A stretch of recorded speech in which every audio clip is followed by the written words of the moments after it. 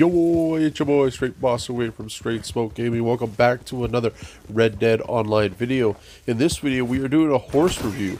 Some of my favorite videos we do for Red Dead Online is reviewing horses. Let you know whether I think they're worth the money to be spent.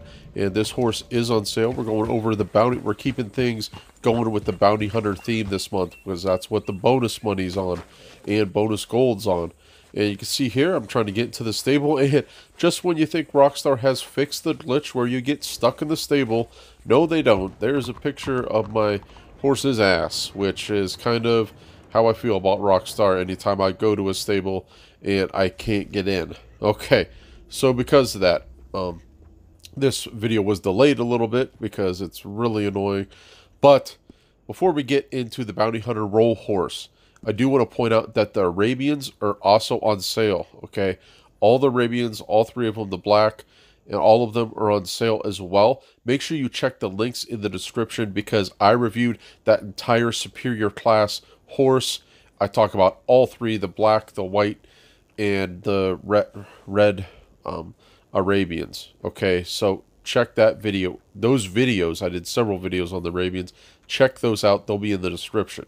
But let's get into the Breton horse review. Okay, we're talking about the Bounty Hunter Role horse. It is the Breton.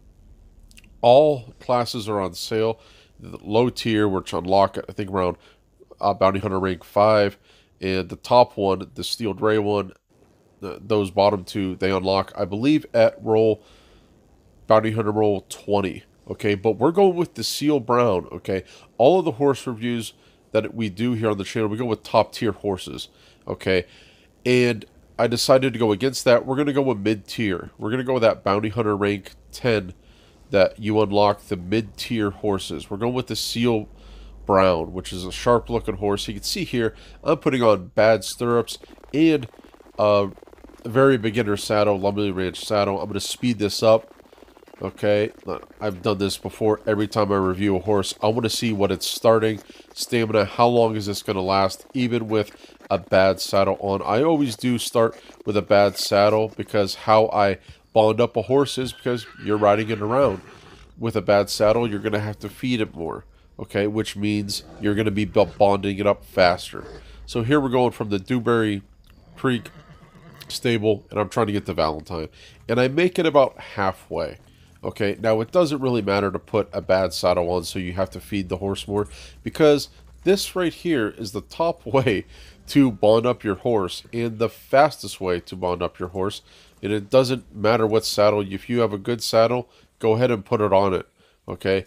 Because you need to lead the horse, okay? You don't need to ride the horse to bond it up. You can see here the stamina bar is going up, okay? And you see here, bonding level 3, we're almost topped out. Okay, I wanted that stamina bar around this mid-tier horse to go up more from rank from bonding level 1 or bonding level 2 to 3 did not go up as much as I desired. That kind of sucks for the Seal Brown mid-tier horse for the bounty hunters. You can see here we hit the bonding level 4, so I go back and I do that test, testing its endurance, its speed, you know, after we hit bonding level 4. And I make it to Valentine from the Dewberry Creek uh, stable, no problem at all. You got to use that left stick trick there, you know, to help replace some of the, you know, every 30, 25 seconds, you could press down on the left stick and you get you gain back some of that stamina bar, which will help you you know, go ahead. And then after you're bonded up, I go ahead and put all these horses in this race have the Nacogdoches saddle with hooded stirrups. So they all get that bonus. You know, you you know, it started out as a speed of five and acceleration of a three. Now that white Arabian has a eight and a eight, okay, which is a mid-tier Arabian. That's the mid-tier Arabian. And I'm going against Jake Cut over there, the Great Breton that he calls it. Okay. That has a speed of nine and acceleration of 7, I believe. So I know I'm not going to win this race. I'm going against a top tier horse in the Great Breton, the top uh, Breton. I do kind of hang tough with that White Arabian, which is another mid-tier horse, but the the acceleration is just down, okay? And the I just think there's better role horses than the Breton.